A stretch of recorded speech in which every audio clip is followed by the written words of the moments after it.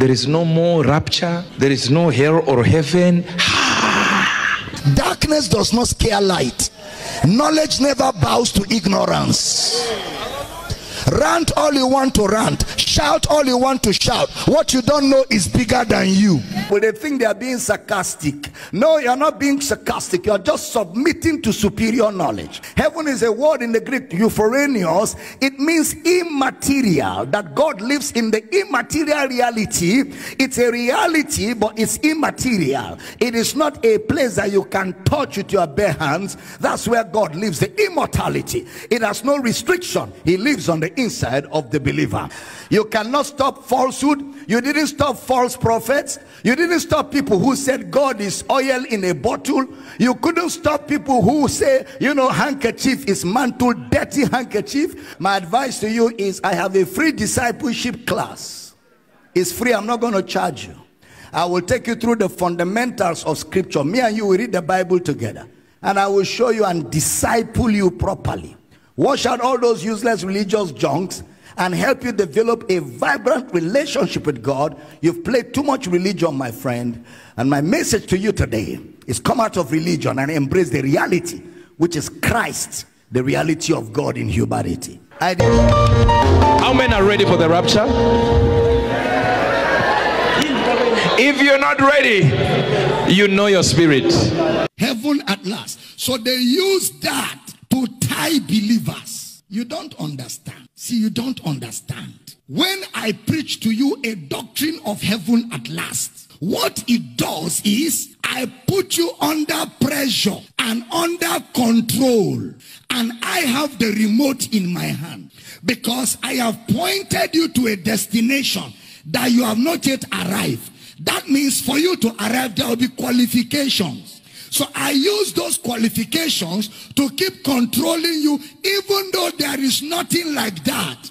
So you are, you are hoping for what does not exist and you are being manipulated for somebody's personal gain. Because ultimately, the beneficiary of your actions in your bid to make heaven at last is the pastor that is manipulating you. Because now I can tell you, since you are not yet there, you will have to get there. There's a place called there, heaven at last. We will not know whether you will enter or not till that day. In order for you to qualify, one, two, three, four, five, and anytime you are not able to measure up, I put a reminder.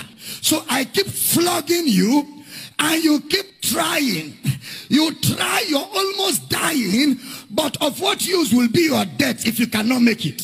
So even at the point of death, you are still trying to make it. Meanwhile, the preacher who told you those things is not doing those things because he himself know he has already arrived. Wicked men on the pulpit. Paul calls them witches. Oh, foolish Galatians, who has bewitched is a bewitchment. They use it to collect your money. They use it to make you do their kind of evangelism. So he has to keep that battle. He has to fight and make you keep looking for heaven at last. We come to you in the honesty of our hearts, not looking for anything to benefit from you. And we tell you it's not heaven at last, it's heaven at first, so that you can be in rest as you walk with God. Then they call us heretics. Can you see blackmail? But we are too old for that blackmail. The day you got born again was the day you made heaven. And you cannot be lost. Once you enter, you have entered. There are things we just assume. Just like the word rapture. And then when you read the Bible, you won't see the word rapture. It's not there from Genesis to Revelation. There's no word rapture in the Bible. See? And people just use it without knowing what it means. For instance, when you see the word resurrection of the dead in the Bible or quicken your mortal body, that is rapture. If the spirit of him that raised Christ from the dead dwelleth in your mortal body, that same spirit shall quicken. That quickening is what theologians coin as rapture. So Christ in you is rapture. Except you don't have Christ. If you have Christ inside you, you will be raptured. Rapture means resurrection or mortality swallowed by immortality. So once you are born again, you are rapturable. It's not a prayer point, it's your reality in Christ. Are we teaching good here? So it's knowing the right words. And I like using the right words. So when you say rapturable, how does a man become rapturable? The spirit that raised Christ from the dead gave birth to that man. Romans 8 11. So that makes that man rapturable. Hello, guys. Welcome to the show. I hope everyone is doing just fine. And if this is your first time on this platform, please do us a favor by liking this video. And also, if you enjoy what we do, if you think that what we do here is of um, benefit to you and uh, you wish to support us, you can do that by simply subscribing to the channel. That helps us a lot and uh, we shall forever be grateful to you. Thank you for doing just that. So before we continue with our conversation for today, I just want to ask you how are things working out in your life? How are the goals and the plans that you've put in motion going along? Are they going as you hope they would or not? And if not, because I know things are always much more difficult than we ever thought they could. So I know you might be facing some difficulties. And if that be the case, what are you doing to fix that problem? What are you doing to come out of the situation that you are facing? Remember, hard work is a major way to success. And uh, only those who gave up actually failed. If you never gave up, if you never surrender, if you just kept on working hard and then put your head on the ground, you know, just kept on going, slowly but surely you will get there. You will get there. So, whatever your plans are, keep working on them. Whatever your dreams and aspirations are, keep working on them. So, you know, like I said before, right? This whole born again Christianity have become too controversial in Africa, and uh, it looks like there are two different camps in the Christianity in Africa. There are those who believe in heaven at last, and there are those who believe in heaven at first. Now, I don't know which one is right, which one is wrong, but this is what I know. I know for sure that in order for you to make people obedient, you have to frighten them.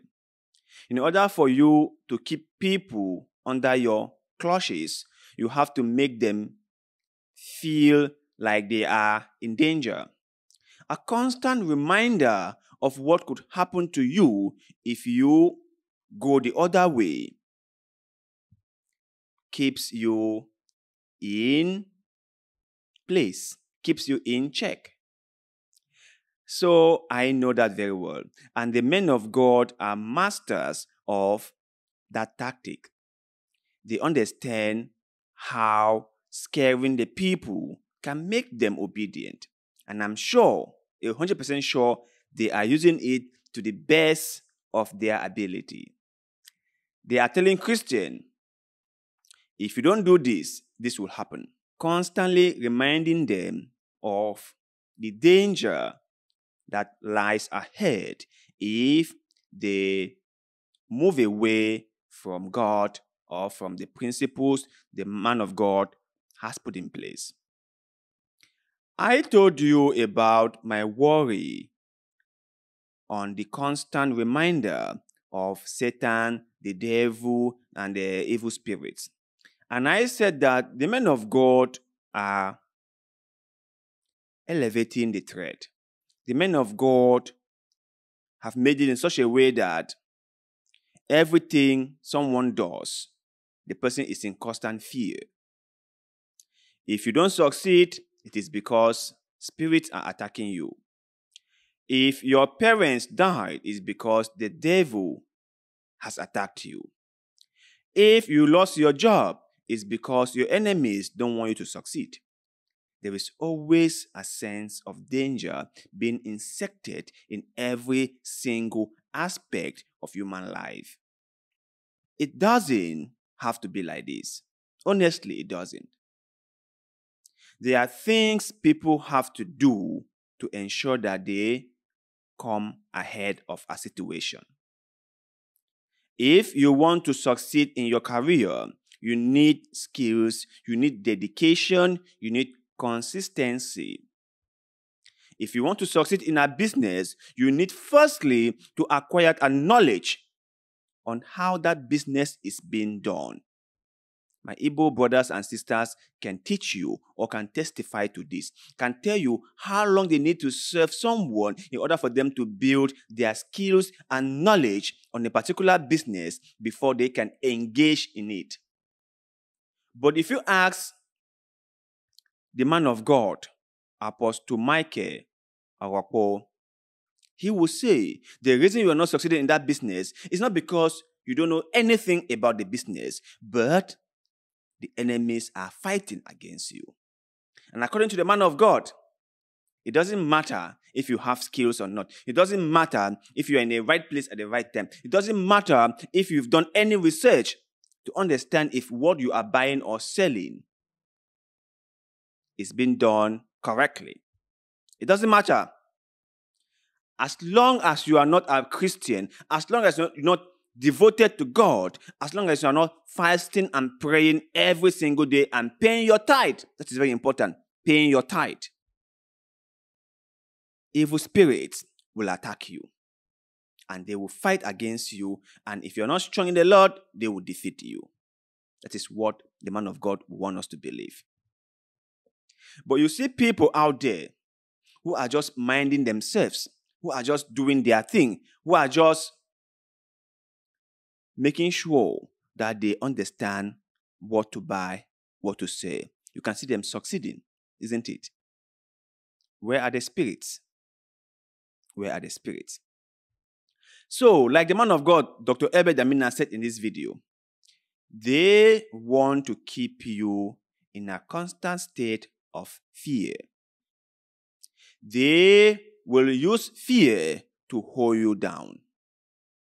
They will make sure that you are always scared.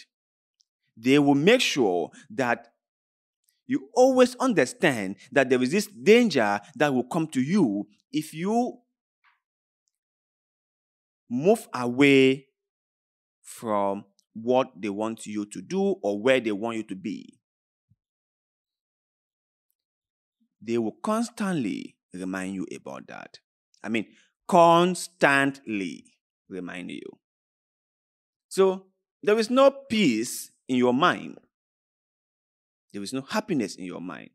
Because if one day come and you don't do as you are told, you might not even get to heaven after spending 40 years trying to get to heaven.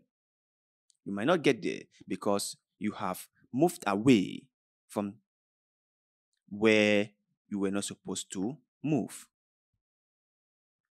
That's just my own take. Be it heaven at last or heaven at first, to me, it doesn't really matter. It doesn't really matter to me.